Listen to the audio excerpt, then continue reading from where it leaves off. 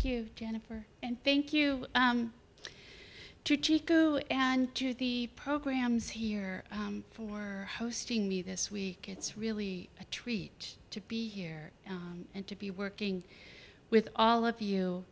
The title for this lecture um, was broad enough to accommodate whatever would end up in it.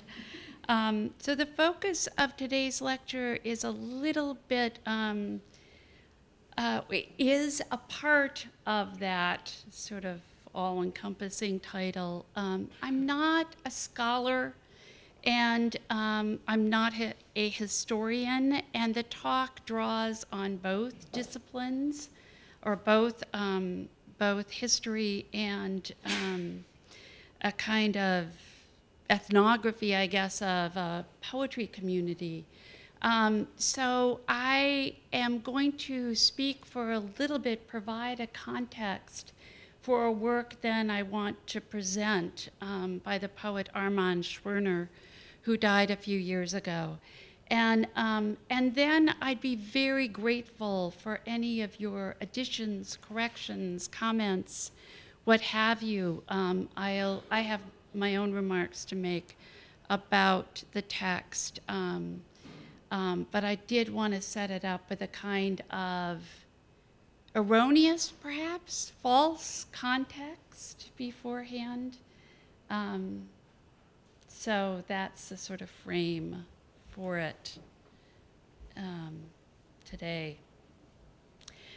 After Denise Riley and her selves, I want to begin with a personal note on my own fascination with the work I'll discuss today, which is an annex to my seminar this week on poets' relationships with other mostly literary texts.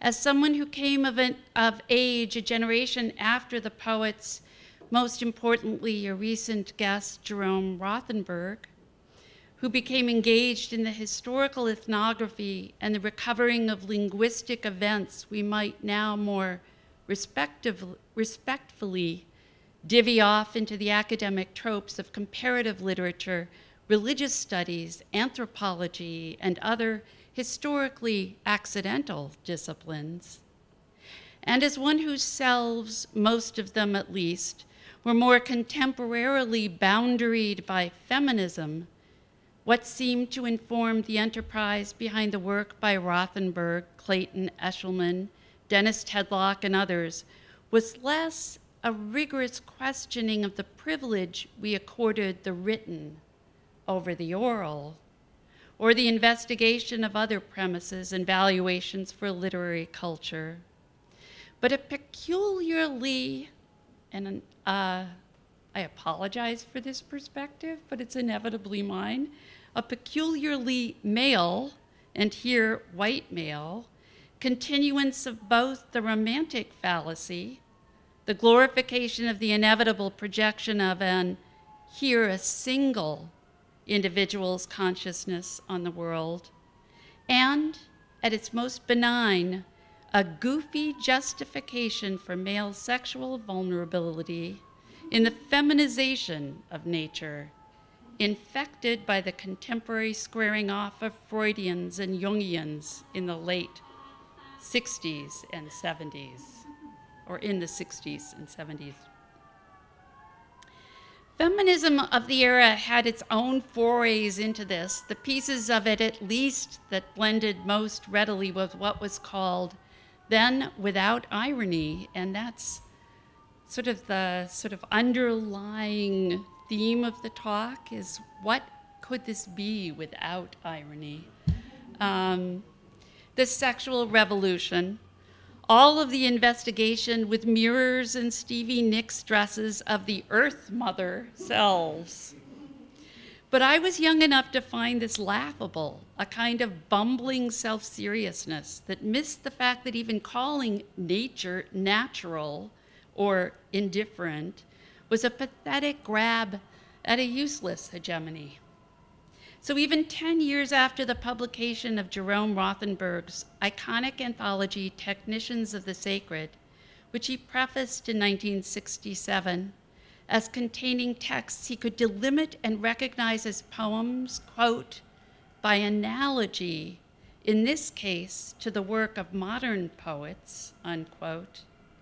The idea of this subjugation was acknowledged as suspect, and his 1984 preface offered a series of explicit cautions about the transcriptions, translations, and approximations of texts occasioned by an abundance of contexts being read as anything but variations authored by the contributors. And yet the idea of shaman was still enough unsullied despite the work already underway in a burning journal called L equals A equals N equals G equals U, etc., that despite the work already underway, oh, uh, that Rothenberg cited contemporary poets' aspiration to shamanism as an argument that these like minded North American, 99% male and white poets were equipped to author fair approximations. All of this seems so wrong headed and blinkered now, it is difficult to conjure a time and group of individuals for whom this revisioning for vision was also a keen marker and spirit, and much of the ethos seemed fueled by peyote, LSD, mushrooms, and hashish, and collecting was a, and collecting was a progressive act. But that is a part of what I would like to do here before presenting Schwerner. After City College and a stint in the Army, and some of you may already be familiar with this, having heard and seen Jerome Rothenberg so recently. Jerome Rothenberg returned to his natal New York and began graduate study at Columbia about a decade after the Columbia graduates, Kerouac and Ginsberg, had left Columbia University for the road. By the time he was finishing in 1959, he had run across Armand Schwerner, another young poet, who had returned to Columbia for his doctorate after some post BA time off. Kenneth Koch, who beat them to his own Columbia gowning by a decade, took a post in the English department that year. 1959 was also the year Robert Lowell published Life Studies and won his Pulitzer for it the year after. There had been no March on Washington, no assassination of John Kennedy, uh, no moon landing. New York City was a conflation of the poor in the Bronx and uptown, immigrant communities throughout the boroughs and the Lower East Side, the moneyed sellouts of madmen schooled in the 50s, the art world's new center on the edge between upstart rigor and a few decades of entitlement, and the whole swath of young individuals maligned as beatniks. Playboy in June of that year published Kerouac's Is There a Beat Generation, which he had given the year before at a forum at Hunter College in New York. Quote, It is because I am beat, that is, I believe in beatitude, and that God so loved the world that he gave his only begotten Son to it. Who knows but that the universe is not one of vast sea of compassion, actually, the veritable holy honey beneath all this show of personality and cruelty, he wrote. The earth is an Indian thing, he had written in On the Road, and in the new prosperity of Buddhism among the beats, had published his novel The Dharma Bums the year before. Um, a claim that psilocybin, LSD, and other drugs would expand consciousness and aid in the investigation of the world was filtering through the culture, and young, mostly white artists and writers and musicians decided foregoing a 40 hour week was not a cataclysmic risk when they could share a cold water flat for a couple of 20s a month. Blake and Shelley were their avatars. Translation from the, first, from the French surrealists as well as from non European writers had begun to have a local influence. The first English language translations of the Peruvian Cesar Vallejo whose complete poems Clayton Eshleman would publish in translation decades later, had just begun to appear in journals. These translations by Robert Bly and James Wright, among others known as deep image poets. Four years later, these would be published in a chapbook called 20 Poems, the same year as Lowell would follow up life studies with imitations, such loose translations that the loss of poetry in translation became a topic of wide intellectual discourse, landing in the Atlantic and Time magazine. Finally, the last cave, the 11th, of the Dead Sea Scrolls at Khirbet Qumran on the West Bank had been discovered so recently in 1956 that the young poet and scholar descended from the 13th century Talmudist Rabbi Meir of Rothenburg must have found the discovery of 900 texts in a vernacular, if indeed a vernacular is a language without an army and a navy, unknown, a profound shift in a fundamental canon. And if the canon of primary Jewish texts could shift, enlarge, accommodate, and likewise the Peruvian poet be read alongside the French, the chants, songs, litanies, heretofore undocumented as literature and or uncollected, and the deciphering by linguists and social scientists of texts in alternate alphabets and systems of representation was a vast new source and area. Of course, this is plundering, as any history is, as the versioning of texts authored in alternate sign systems is, as is the willful embrace of a canon by any poet in order to sample and distort and converse with it. I am choosing a set of coincidental dates that exclude others and so present one possible cauldron for the brewing of ethnopoetics in the early 60s. A poet inherits her or his time in the broad sense, but it would be difficult for even the most scrupulous biographer to account fully for the idiosyncratic sense. Armand Schwerner was one of the original excavators, selectors, versioners, and technicians of the sacred, Ethnopoetics founding anthology, compiled through the first years of the 1960s and published in 1967. And this is the later edition, expanded to include European texts, um, early religious texts, as well as um, almost 200 page, pages of the commentaries, um, also an expansion on the original. Just as the appropriated or embroidered and translated interviews published as Black Elk Speaks, a book Carl Jung had championed in the 40s, began a mainstream resurgence as a bestseller to the generation looking for, ironically, authenticity, a colonialist projection of the native to counter tang and fizzies. Praises of Ogun, who smashes someone into pieces that are more or less big. His town's got stuff in it most people couldn't guess at. Ogun is called a thief by definition. Ogun is master of the crown. Bigun big Ogun props up on his head. Ogun is Orisha, number three. He's master of his town. No, he won't leave anyone alone who badmouths Ogun like a thief. He's very rich and mighty. He hires an elephant to say prayers to his head. He kills the husband in a fire. He kills the wife in her foyer. He kills the babies when they try to run outside. He takes somebody's head off if he feels like. He covets his neighbor's prick. Even if there's water in his house, oh, Ogun washes up with blood, etc. That's probably a quarter of the whole text we're given.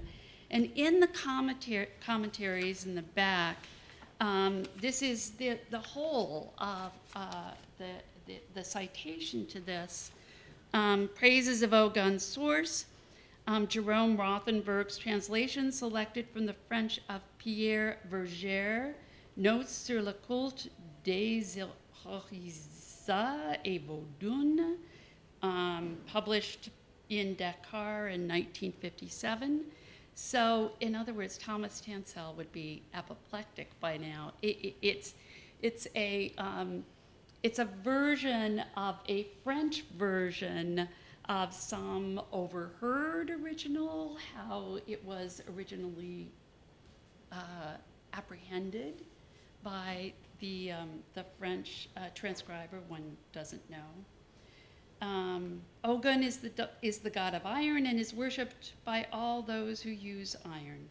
He is a semi historical figure who has become an Orisha, in other words, a mediary between the Olorun, the supreme god, and man. The Orisha personifies some aspect of the divine power, and each Orisha has his own set of colors, materials, etc., assembled from a number of local variants. These praises of Ogun give a compound image of his range and power. For a description of the Yoruba Oriki praise poem, see page 477.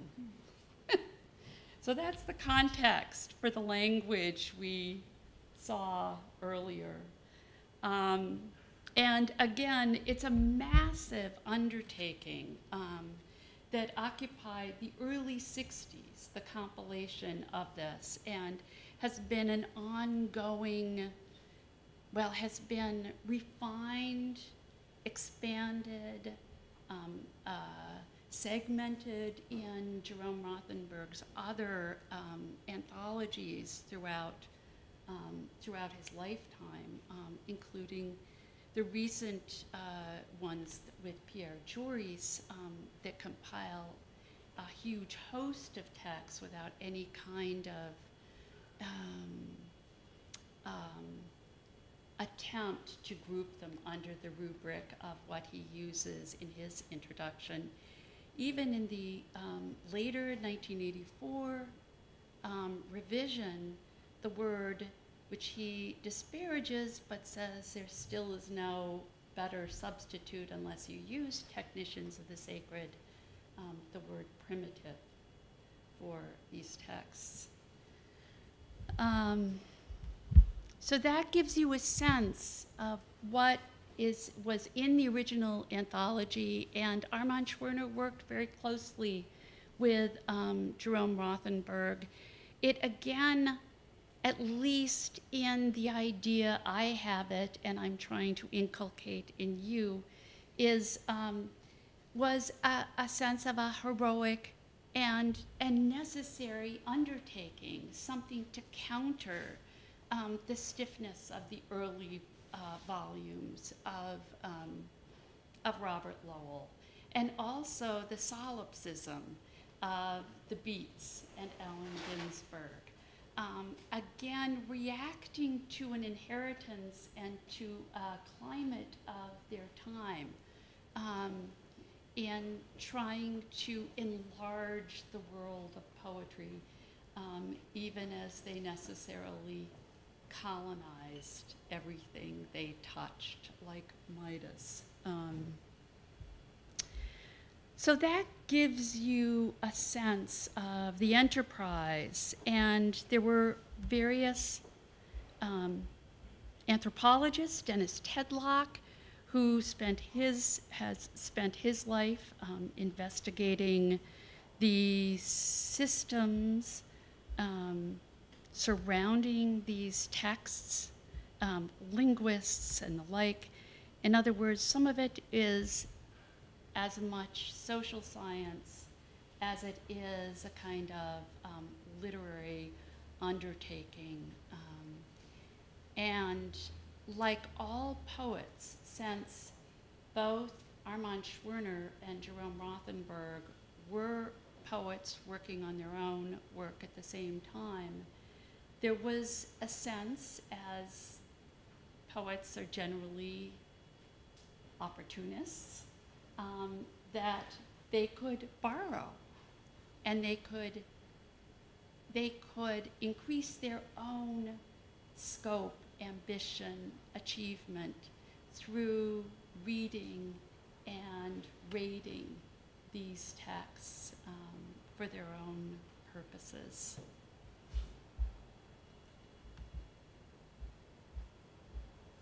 In the year following the publication of Technicians of the Sacred, the first eight tablets of Schwerner's lifelong work were published in a slim volume by Cummington Press, a little enterprise in Iowa. A 1971 collection of the tablets included seven more. Two years later, Phill Niblock filmed Schwerner reading the second from the first set and the 13th from the 1971 edition. Um, I can project both um, I can project the text on the left, although it's going to be difficult for you to read it since I can't, unfortunately, get it much bigger while still showing his reading. Let me see if I can enlarge it this way.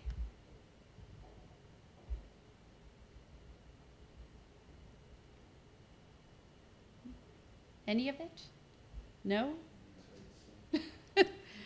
um, let me enlarge it a little further before, before I start the Phill Niblock film, um, just so you get a sense of um, just so you get a sense of the, the, the visual elements of it.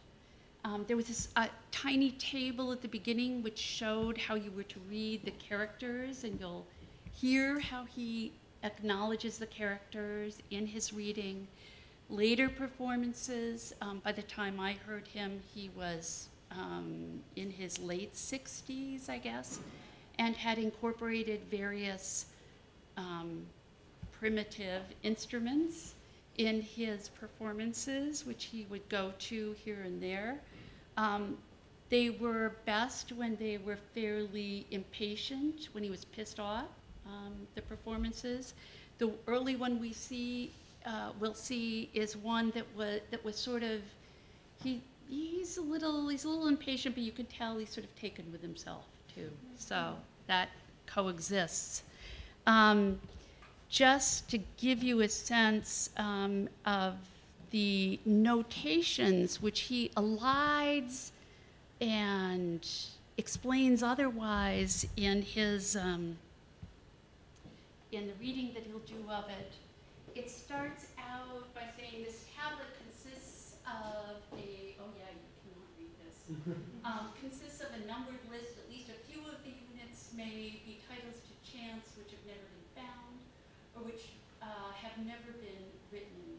Its exact placement in the context of the series is a problem. Um, and then the first notation that comes up in, in, in the numbered list, you'll hear him give an approximation of this. The idiosyncratic placement of the central horizontal cuneiform wedges suggests the word may be breathe, but he'll articulate that in a slightly different way. Um, so I'll just give him full screen since you really can't see anything here. Um, it's about 11 minutes, so settle in. He's going to read again number two of the tablets, which are presented without introduction. Um, he does have, he did append notes to a later, a later volume in the back, but they're not at all. They're more sort of uh, like a notebook would be as you were doing a project, um, not as scholarly notes or an attempt at scholarly notes, as in the um, Technicians of the Sacred anthology. Um,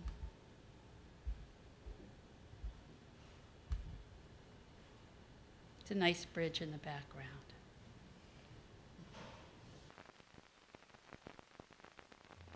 Then it says strings and pieces. The last part of the line is missing. Three. The children dance in waters of fish death.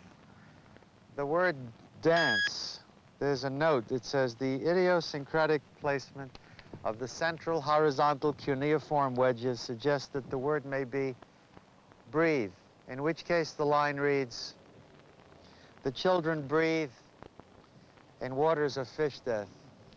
Four, they are dry scales. Then there's a missing section. Five, on the inside their scales are wet. Six, they are empty holes. Why do they walk and walk? Seven, the missing section, children, eat untranslatable strings and pieces. Eight, the empty children run in their patterns. The word patterns sometimes means shoes, so that we have the line, the empty children run in their shoes. Nine, the pig, which sometimes means the god, waits, untranslatable section, fish death. Ten, the children, the rest of the line is untranslatable. Eleven, the children, untranslatable section, ball games. 12, the children, untranslatable line. 13, the children, untranslatable must eat, which really means must, could, want, will eat. Rain. Pinterpnit, which apparently is some kind of exclamation, like Alleluia or Selah.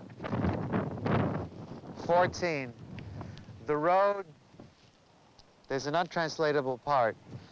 Penis thinking. Pinterpnit. 15. Sometimes they walk on the river road with crocodile. Pinterpnit. 16. They can walk near the Knom in their stupid ignorance of fish death. The Knom is known as the spirit which denies. 17. Oh, they are stupid. They are lacking.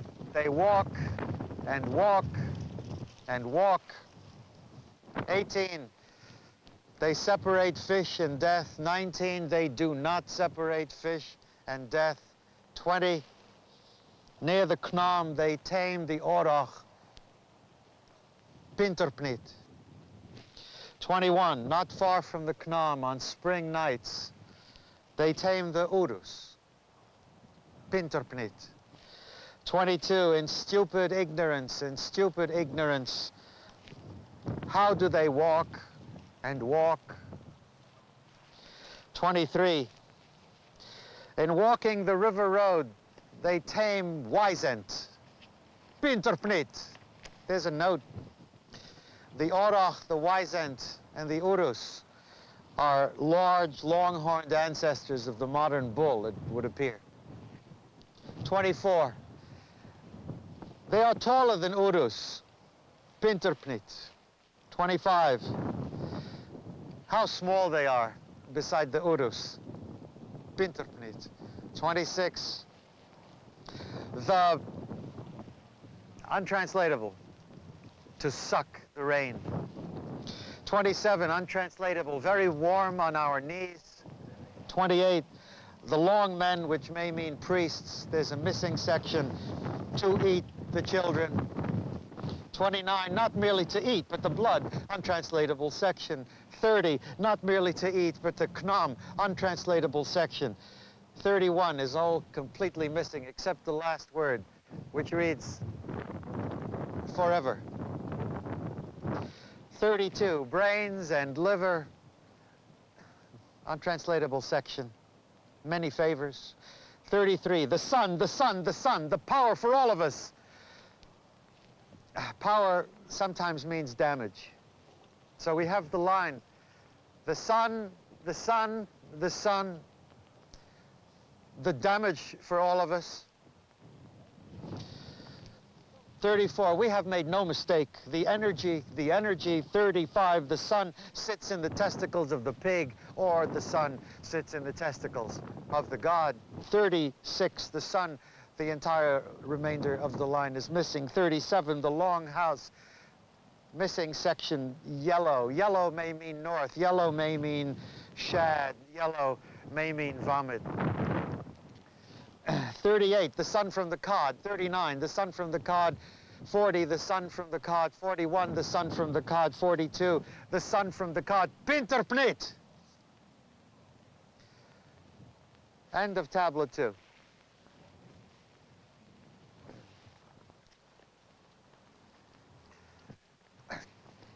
Number 13.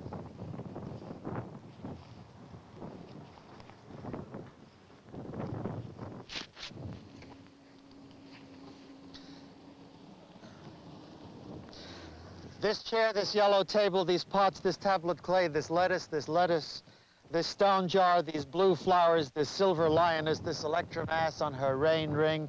Here's my eye, and here's the great emptiness surrounding an object, hating me, this tablet clay hating me, separated from its name, this stone jar hating me, separated from its name, outlining a piece of the air to sliver me through this piece of blue flower, hating me, surrounding myself in anger with me, in anger with me. Copper adds is hating me, the white-green light around the scribe, the market pile, the lettuce hating me in a white-green light separated from its name to sliver me with ice. There's a note by the scholar translator who says, psychotic rant. What surprises, however, he says, involves the degree of non-analogic type of reasoning, atypical perhaps, personally and culturally of the thought modes of archaic literatures, Sumerian, Hebrew, Ugaritic, and so on. But the author of 13 was very likely a cured schizophrenic, looking back, intensely directed to assess her past. When I was four, the liver said, you will choke, you will puke out your heart Oh, in your life, your life, your life, in the pit of your thinking stomach, and your feet caught in the swampy muck by the Knom in your son, separated from his name, hating you. Let it come down, said the star, Nergal, which apparently is the bringer of pestilence and death, the sun god of midsummer. The next line is untranslatable, and the last part of it is missing. In the nightmare of the liver lobes, I used to read the face of luck from the back of a burnished brass mirror saying, walk, death. Untranslatable section, gallbladder and day-long white-green trance in the bloody, fresh sheep gall ducts surrounding me and my balls were cut. Who do you know who threes? Who do you know who threes? And let it come down. The young lettuce is separated from its name and grows dwarf. The blind light surrounds the heron, flying in a form to augur the end of my name. Uyar archeyu, uyar sharbarezer, uyar yorch. According to the translator, the transliterated sounds either did or did not mean something. The phonemic structure confuses and the regressed ego cries. Underneath bronze, not bronze, chameleon changes to green, no life chameleon, no change, saying walk death. The next line is missing. Tablet, tablet, how do you go? I don't know. The next line is untranslatable. The penis is offering, I walk underwater, Sharmarezer Last year I had a woman open to the rain and flood, or else a man with breasts shining in a brass light in a room. I walk underwater. The next line is missing. Who do you know who threes and grows dwarf? Come down or come down if you gave me sour milk, Sharmarezer Yorch.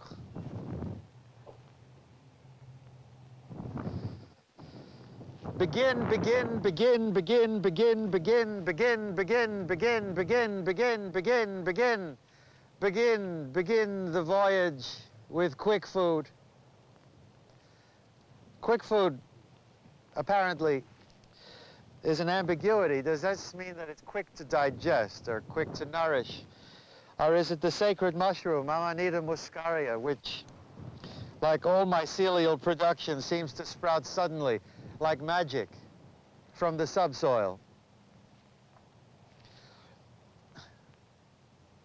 begin to begin.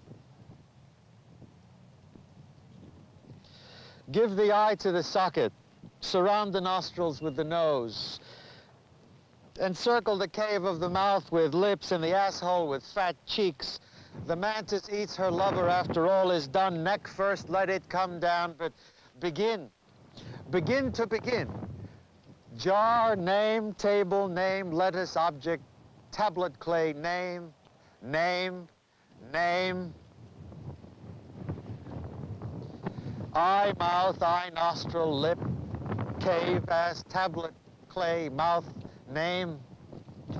Take light, wash away light, together eye, nose, face, name, name.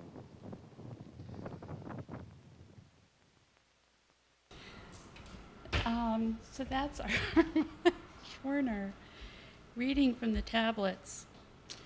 And what fascinates me about this particular text, um, and I'd recommend it to anybody, and you can hear him um, uh, both PennSound and uh, I think this is this is Phill Niblock has various sites in which he has this, but PennSound also has this as well as audio files at different points in his life. Armand Schwerner reading the entire text. Um, but what fascinates me about this is it seems such a crystalline example of a poet's relationship on a very deep level with ambivalence for a kind of work or a, poem, a kind of poetry that they love.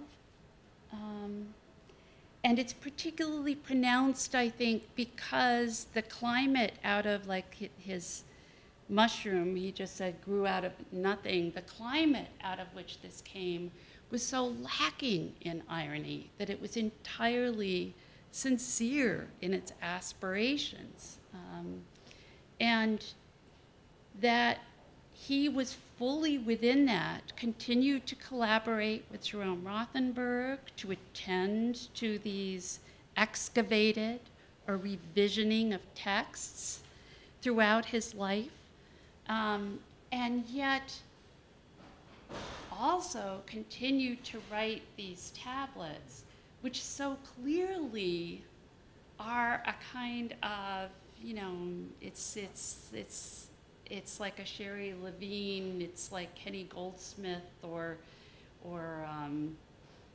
or Yasusada, entire in terms of this constructed fake text. You know, there was no pretense that it was somehow even borrowed or transliterated or, you know, um, dug up.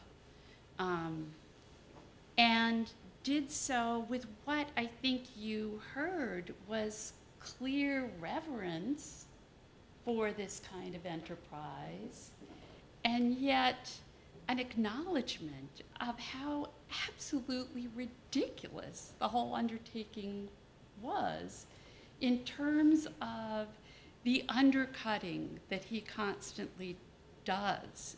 Um, and he borrows from aspects, just as in the Song of Algon that we saw, um, he borrows from aspects of those, of the texts that ended up in Technicians of the Sacred in there what Rothenberg describes as a kind of, you know, um, I forget how he puts it exactly, but it's, oh, the animalness of the body.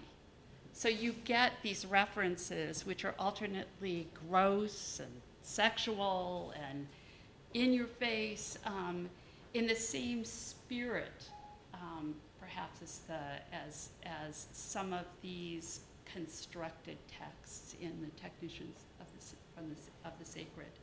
Um, and yet, with a particular spin that perhaps to me um, at coming to this kind of work like Earth Mother um, was somehow more assimilable because the ridic- he seemed to find the same things um, laughable in a way. And to sustain both of those things in this extended work seems to be to be an example of what we all try to do in our best work, which is to sustain two things that are absolutely contradictory in the Keatsian sense, um, and thereby represent the various selves of Denise Riley in one.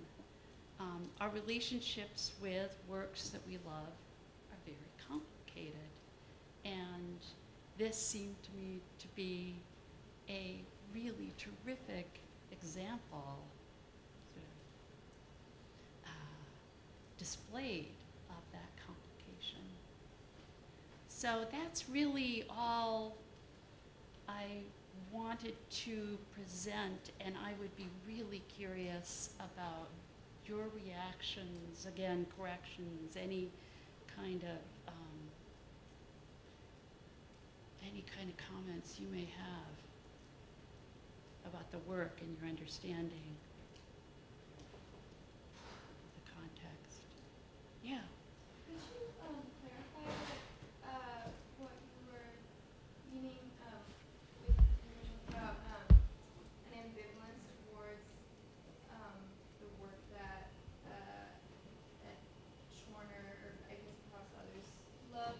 Um, are you talking about that in terms of the the sort of playfulness, perhaps, of being able to maintain the two contradictory elements throughout the work?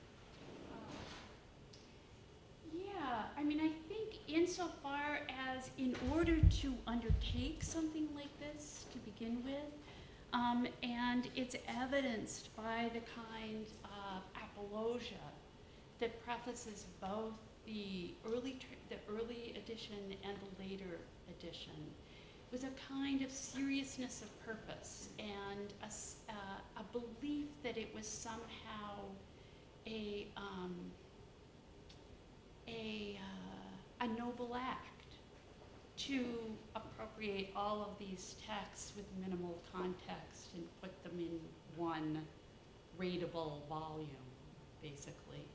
Um, and so that in the tablets, which what we see over the 30 odd tablets is a kind of reverence for that and a buy-in, like, yes, this is important work. None of these were known. We only knew, you know, civilization to be European, Western, the kinds of things that we now take for granted in terms of questioning and understanding.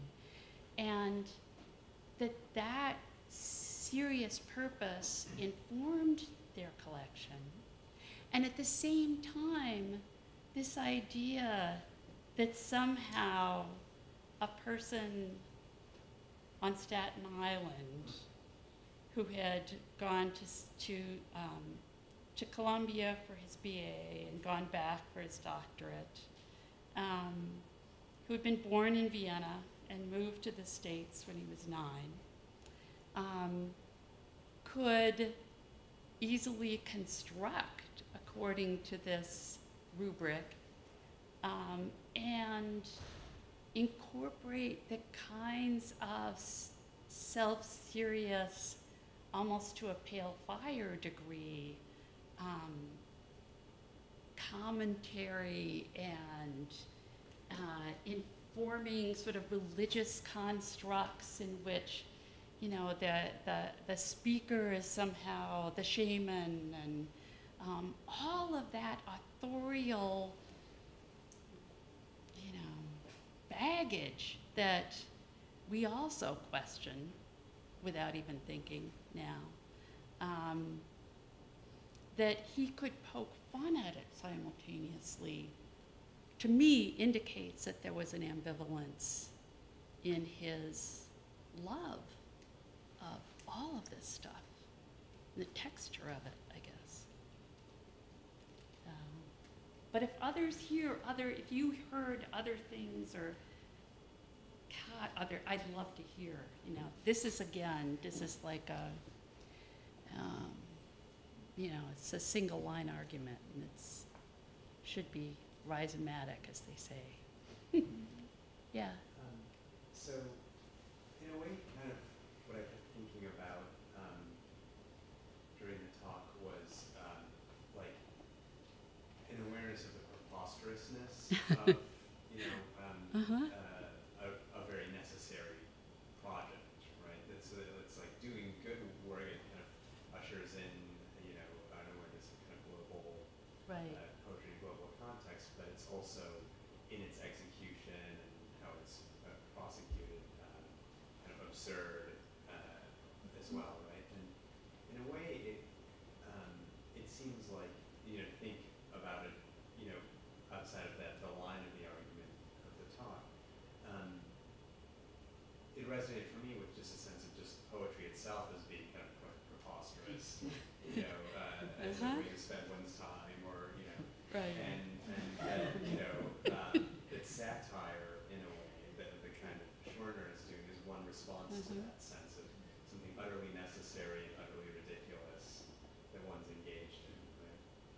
Um, Yeah. and I'm sure there are other strategies of, besides satire, you know, uh, that you could you could um, pursue to kind of deal with that two-sidedness of, Mhm. of the art, right?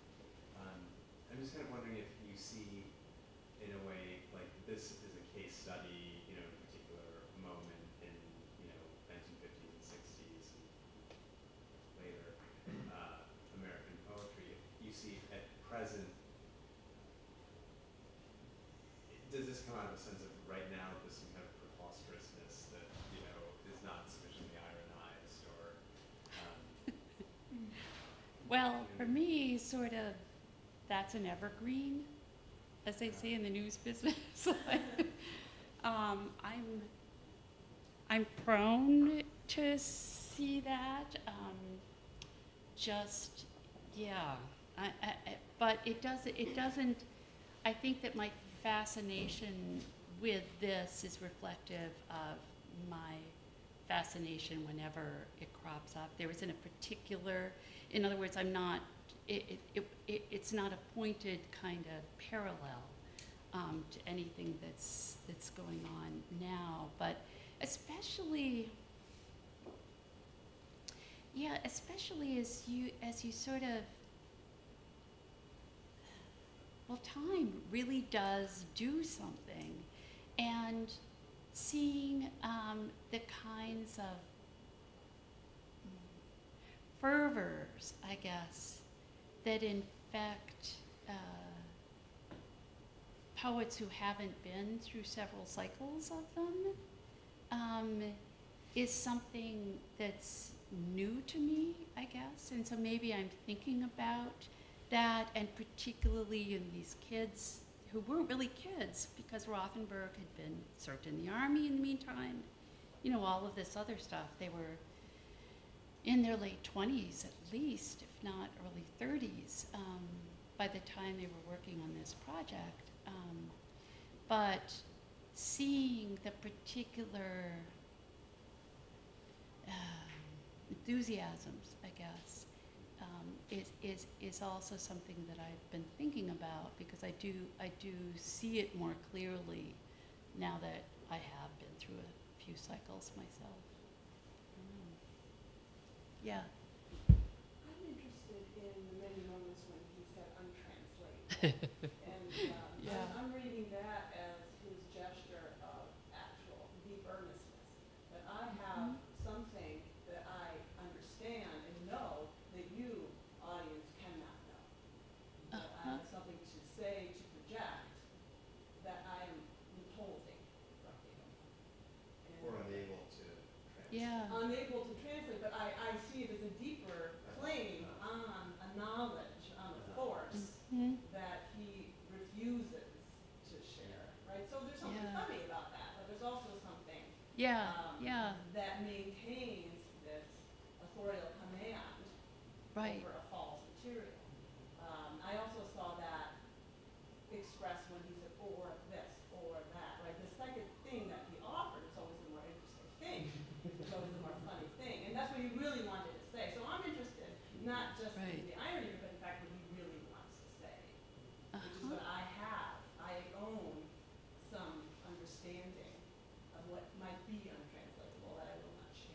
Right, right.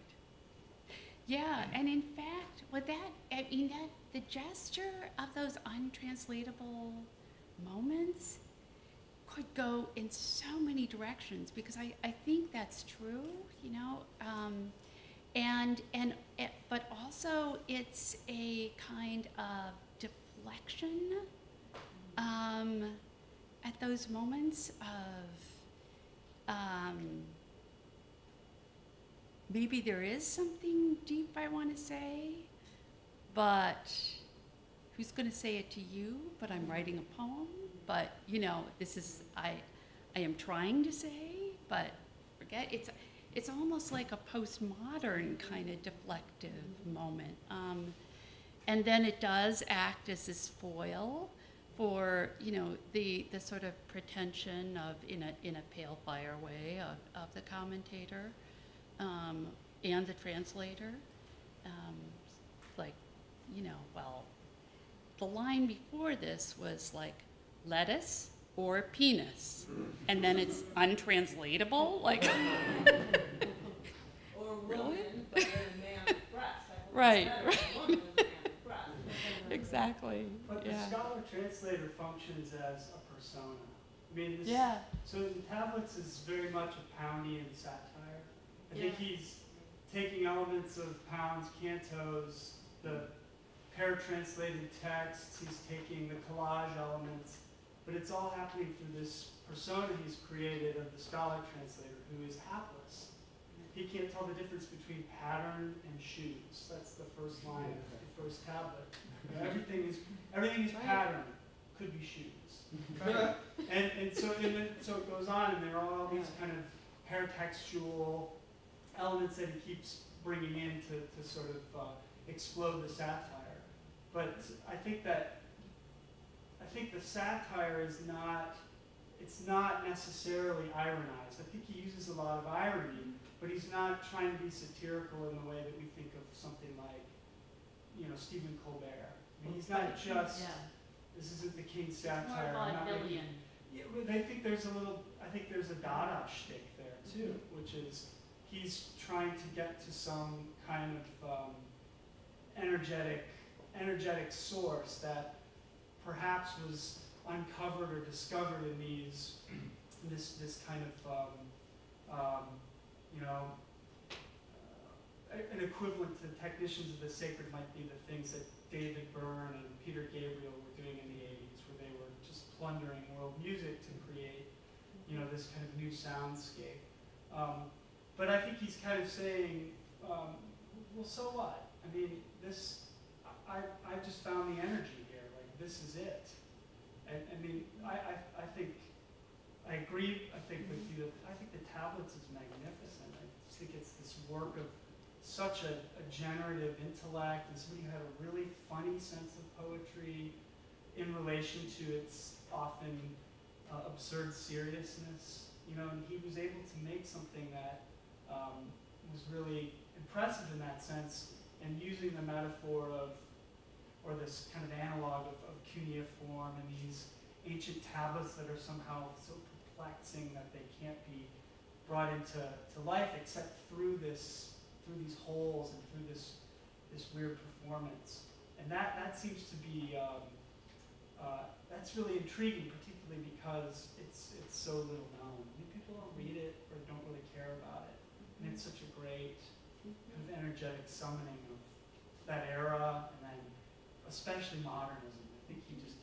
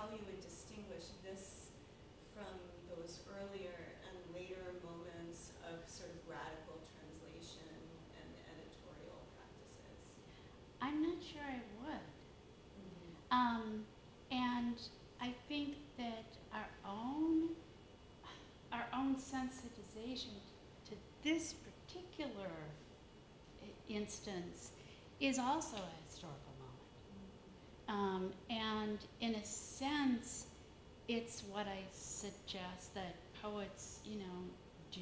I mean, opportunism is part and parcel of it. And that in any kind of borrowing or sampling or replication. There is that kind of absolute disregard for the original. And, um,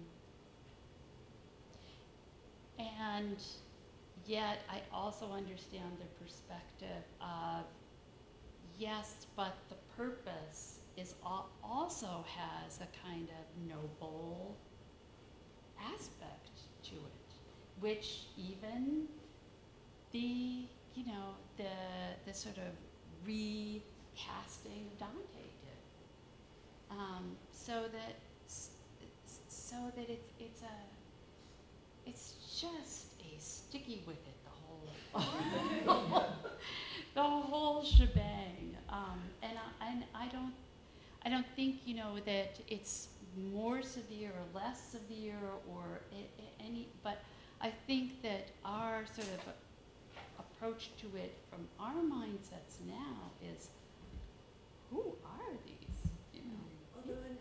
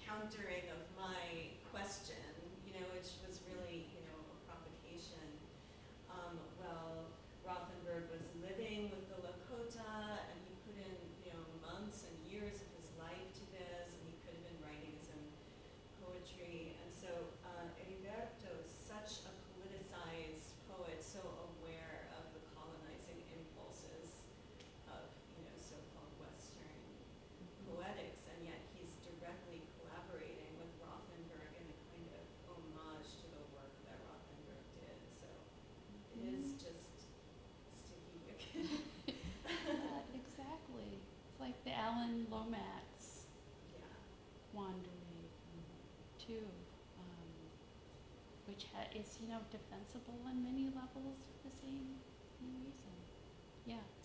Yeah, I think I, I'm, I'm totally vibing with the contours of the conversation following the reading. Um, I wouldn't even say that, to me, that this, this work kind of enshrines the ambiguities and aporias and anxieties of ownership and appropriation and replication, and even theology, Mhm. just uh, devotion and prayer.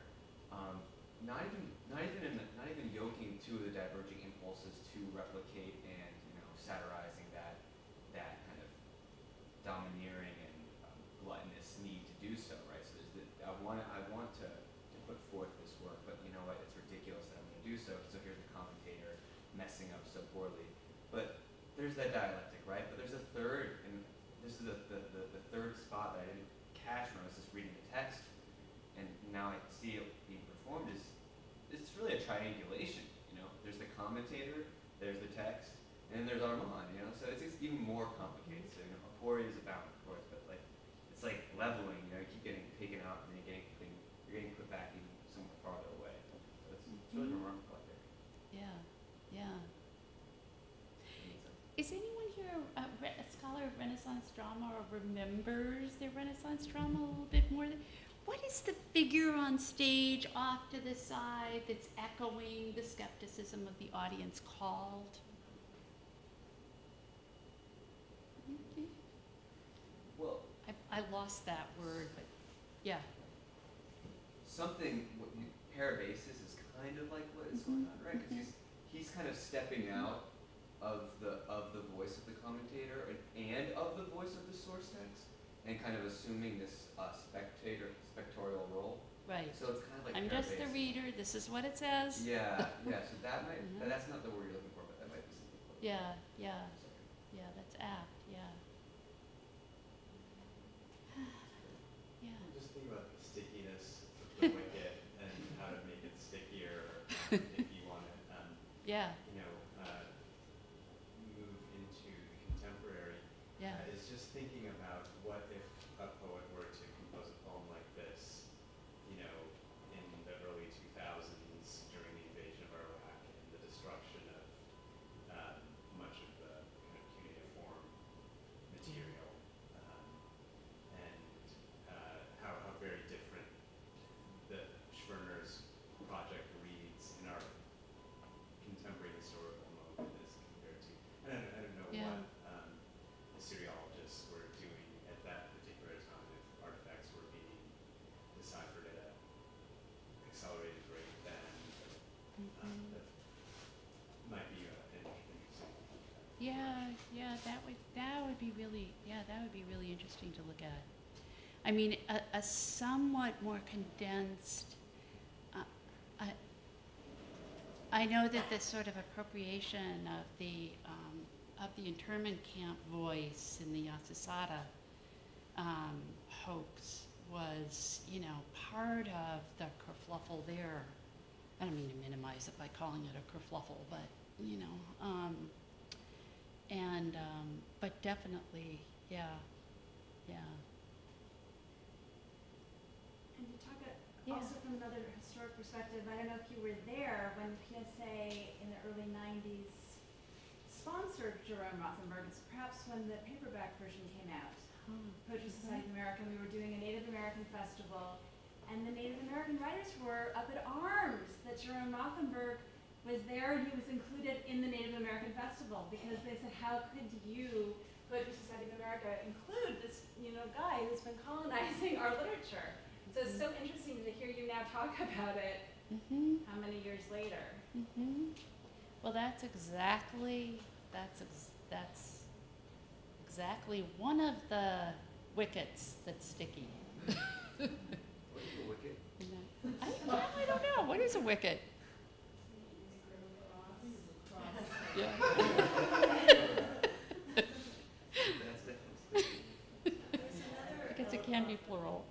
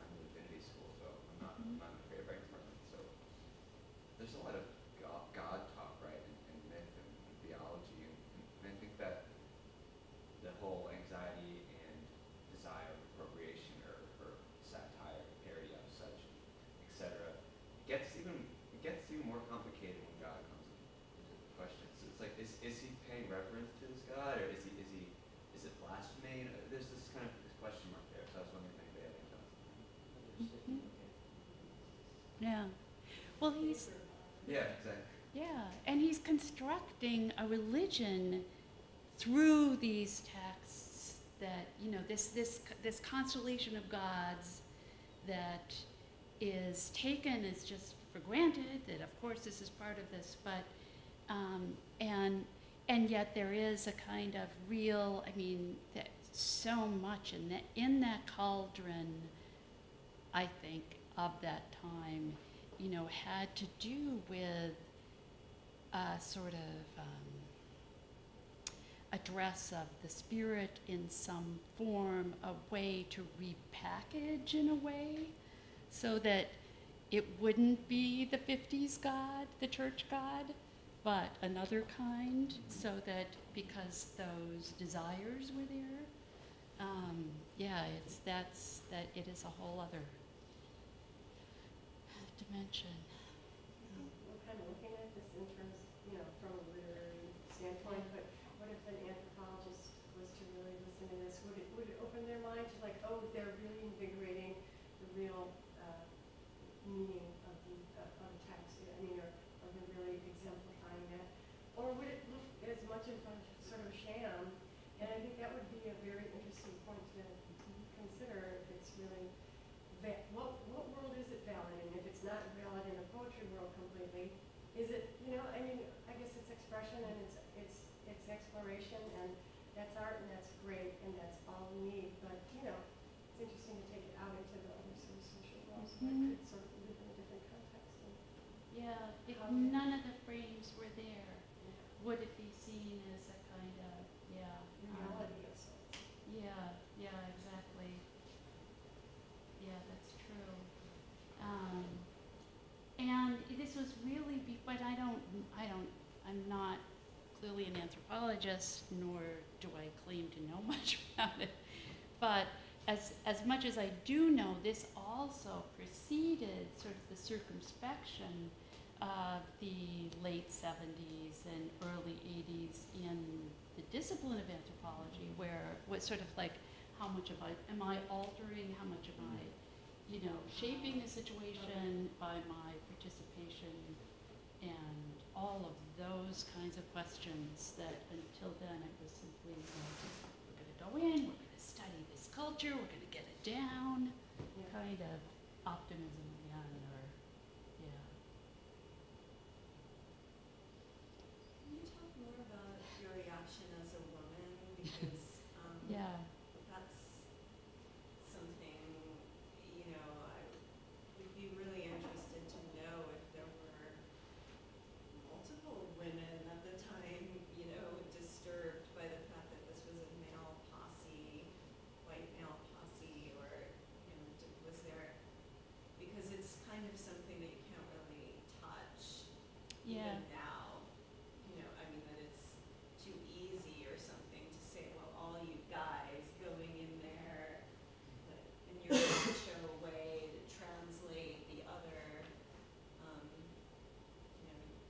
they're Yeah. all men.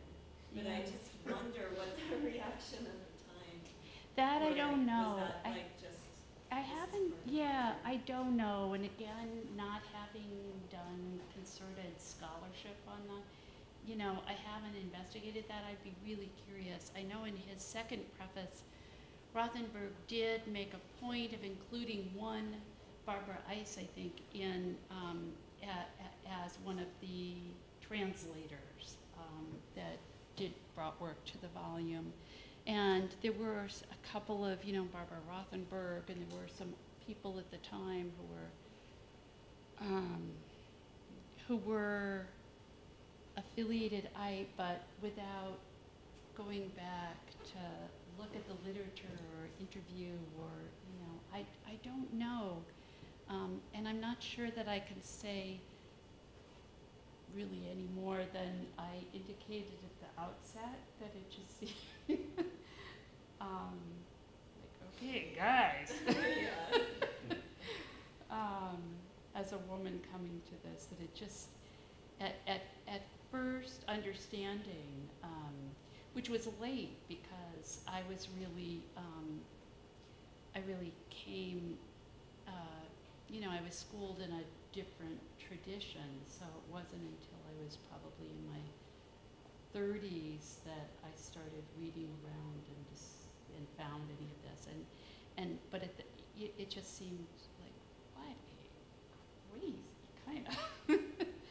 um, and a lot of that had to do with, as a woman, you know, looking at this stuff that um, at that point, again, in the historical moment, you know, sort of like, I, shaman, the, all of that, Earth Mother, you know,